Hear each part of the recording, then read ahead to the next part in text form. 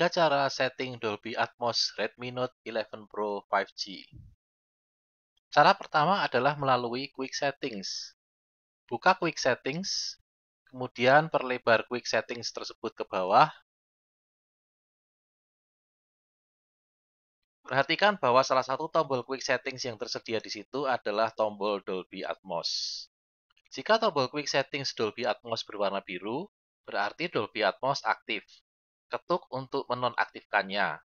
Sebaliknya, jika berwarna abu-abu, berarti tidak aktif, ketuk untuk mengaktifkannya. Cara kedua adalah melalui settings Android. Buka settings, kemudian geser ke atas, ketuk Sound and Vibration. Geser lagi halaman ini ke atas.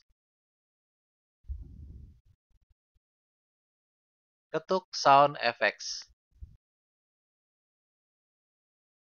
Ketuk tombol ini untuk mengaktifkan atau menonaktifkan Dolby Atmos. Saat Dolby Atmos aktif, kamu bisa menentukan preset dan graphic equalizer.